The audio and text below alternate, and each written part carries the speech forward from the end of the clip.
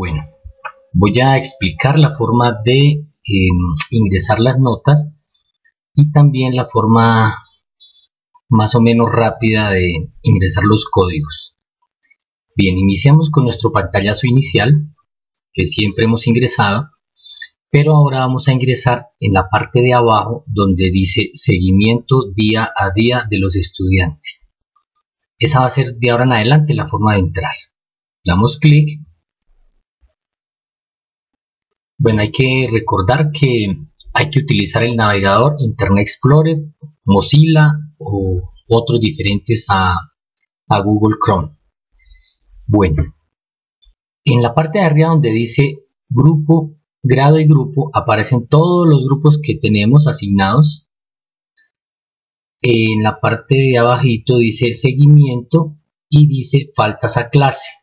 Entonces vamos a enfocarnos solamente en seguimiento. Esta opción que dice ver resultados, eh, resultados con semáforo es para visualizar eh, las notas de 1 a 3, de 3 a 4 y de 4 a 5 y cada una representada con un color. Pero ahorita no vamos a mostrar eso, más adelante. Entonces vamos a escoger una planilla. en este caso voy a hacer el ejemplo con, puede ser 11.6. Entonces cogemos la planilla que vamos a digitar, escogemos seguimiento, que generalmente aparece de una, y le damos empezar a digitar. Bien, eh, él nos muestra entonces esta planilla. Están los nombres de los estudiantes y para efectos de digitación, en el caso de nosotros, que ya tenemos nuestros porcentajes listos, nos vamos a desplazar directamente hasta las, hasta las columnas AZ. Entonces vamos midiendo hasta la AZ. Miren acá. Entonces, esta aparece la primera que es actitudinal, ustedes igual pueden modificar, cambiar el, ancho de las columnas para que puedan visualizar mejor, pero en este caso es como para que ustedes lo vean, pero lo pueden dejar tal cual. Bien, entonces acá usted encuentra el actitudinal, que es el 10%, proyecto, que es el 20%, los, las otras evaluaciones, en este caso los quiz, el 20%, la evaluación de periodo, el otro 20%, y el procedimental, que es el 30%.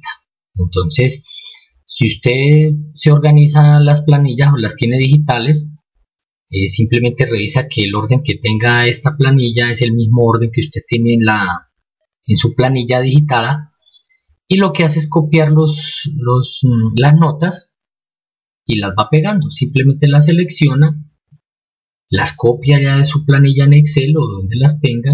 Aquí simplemente se ubica en la primera casilla y le da pegar o control V, porque mire que no tiene la opción de pegar. Simplemente tiene que seleccionar la primera casilla y control V y se le pegan todas las notas. Bien, eh, esto lo hace como lo hacía antes. Simplemente que se va a ubicar en la casilla AZ donde dice actitudinal, luego en proyecto, luego en otras evaluaciones, o sea, los quizzes, evaluación de periodo y procedimental. Eso va a ser igual como lo hacía antes. Una vez tenga digitado ya los, todos los estudiantes, usted aquí a la derecha, estas que están en colores no se pueden modificar, es como el consolidado de las notas que usted acabó de digitar. Y la última es la definitiva. Entonces, pero eso ya no lo puede cambiar usted, a no ser de que modifique aquí las, los porcentajes. Bien, una vez digitado, digitadas las notas, porque si usted, por ejemplo, no las tiene digitales, tendría que poner una por una, ¿cierto? Digitarla con el tecladito normal y con el, recomendable con el teclado numérico, ¿cierto? de nuestras teclas de nuestro teclado, perdón, y ya cuando las tenga digitadas, lo único que va es al lado arriba, al lado izquierdo, aquí estoy moviendo el mouse, donde dice sí guardar. Esto sí guardar. Entonces ya tenemos ahí nuestra planilla digitada. Aquí está un poquito lento. Bien. Ahí acabamos de digitar las notas. Ahora vamos a digitar los códigos. Usted lo puede hacer todo lo que estoy haciendo en una sola vez, sino que quería mostrar ahora qué es esta opción de ver resultados con semáforo. Entonces vamos a escoger la misma planilla, la de 11.6. Le activo la casilla que dice ver resultados con semáforos y le digo empezar a trabajar planilla. Entonces, cuando yo digite ya las notas de los estudiantes, él ya me sacó la definitiva y acá al inicio me va a aparecer periodo 1, esta casilla, esta, esta columna, y me aparecen ya todas las definitivas de todos los estudiantes. Eso del semáforo, la casilla que activamos, es para que él me muestre simplemente visualmente, me identifique los que están de 3, de 3 a 4 con amarillo de 4 a 5 en verde y de, 2 de 3 hacia abajo, de 2 9 hacia abajo con rojo. Entonces, esta casilla que activé hace poquito de ver como semáforo es pertinente para poner los códigos. ¿Por qué? Porque yo ya sé que los que están en amarillo son los que van del código básico o nivel de competencia 2. Los que están en, en rojo son los de nivel de competencia 1 y los de verde son de competencia alto y superior. Ahí la única diferencia es que el verde va de 4 a 5, entonces él no diferencia si sacó el estudiante 4,9 en la definitiva, no hay un color para el nivel superior, pero uno se da cuenta rápidamente porque son realmente muy poquitos los que sacan más de 4,5. Bien, entonces cuando usted va a digitar los códigos, pues aquí también pueden reducir la columna para que tenga una mayor visión de las columnas de los cuatro niveles de competencia. Ah, bueno, ya que me apareció esta columna amarilla, aquí en esta columna amarilla, que es la columna K, ahí es donde usted digita el total de las faltas del estudiante. Por ejemplo, este estudiante tuvo solo una falta en el periodo este tuvo dos, este también y así sucesivamente con cada uno. La idea es que usted digite las, las faltas totales en esta columna, en la K. Bueno, volvamos a lo de los niveles de competencia. Entonces, por ejemplo, antes teníamos la opción de repetir códigos, ahora no. Para este periodo toca escribir las competencias o los códigos que corresponden a cada uno. Entonces, habíamos dicho que para esta, de 3 a 4, corresponde el nivel básico, el nivel de competencia 2. Yo voy a los, los míos, le doy doble clic y escribo. Entonces, en el caso mío, 8173 más, igual como lo hacíamos antes, 8177. Es el que corresponde al nivel de competencia 2 para mi área. Cada quien buscará los suyos. ¿Qué hago ahora? Entonces lo copio, control C, voy a la siguiente casilla, control V, lo puedo hacer con las casillas que quiera.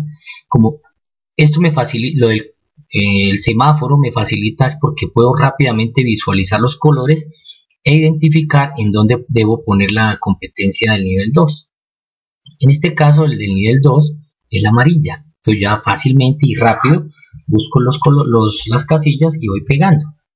Hay varias formas. Le puedo dar un clic, control V, clic, control V, clic, control V las veces que quiera o hay otra que es pego la, los códigos y si se fijan el puntero del mouse me creó una crucecita.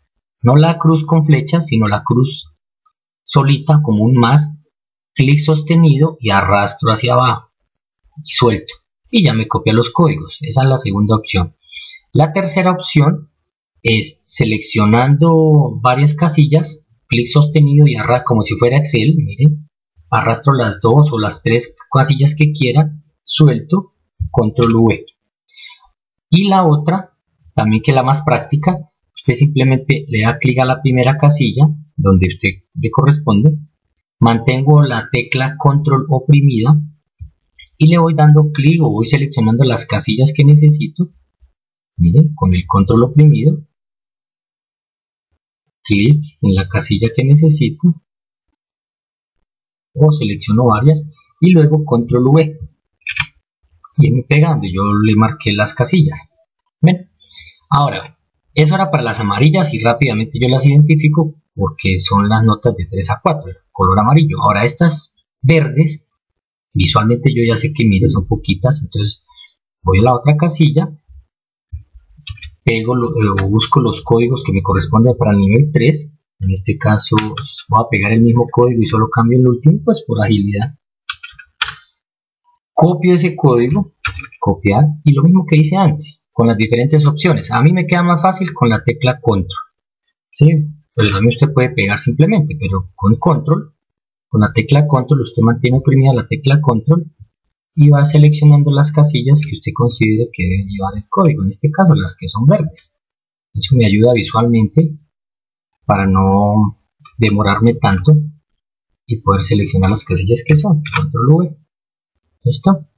En este caso esta, que es la más, la que perdió, pego el código y lo que hago es modificarlo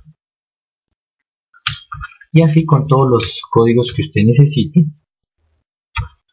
72, 81, 76, perfecto una vez usted tenga organizado ya los códigos bajo, en nivel 1, nivel 2, 3 o 4 en el caso nosotros bajo, básico, alto y superior cuando ya tenga todo organizado al igual que las notas acuerde que las notas las dígitos, los totales, los dígitos acá en, en la columna AZ empiezo con el actitudinal, proyecto, otras evaluaciones. Recuerden que es activar la casilla de semáforo, me ayuda cuando esté digitando los códigos. ¿Por qué? Porque puedo fácilmente identificar por el color la nota que el código que le va a poner a qué nivel corresponde. En el caso del amarillo es el nivel 2, en el caso del rojo nivel 1 y en el caso del verde nivel alto y superior. Ahí usted tiene que fijarse ¿Cuál es más de 4,6? En este caso voy a mirar. Ninguno supera el nivel alto. Quiere decir que no tengo que cambiar ningún, ninguna casilla para el nivel superior. Lo dejo así. Cuando ya tenga todo esto hecho, simplemente se va donde dice sí, guardar. Y listo. Ahí en este caso ya su planilla queda digitada totalmente con los códigos y con las notas que saca. Si ya usted lo quiere hacer con, con, otra planilla, simplemente la selecciona de, la, de la lista de sus materias, ¿sí? Y lo que hace es empezar a trabajar la planilla. Usted puede empezar a trabajar desde el inicio, ver resultados con semáforo, para que pueda identificar las, los resultados finales y poder digitar con más rapidez. Esa sería de pronto la explicación que yo le puedo dar.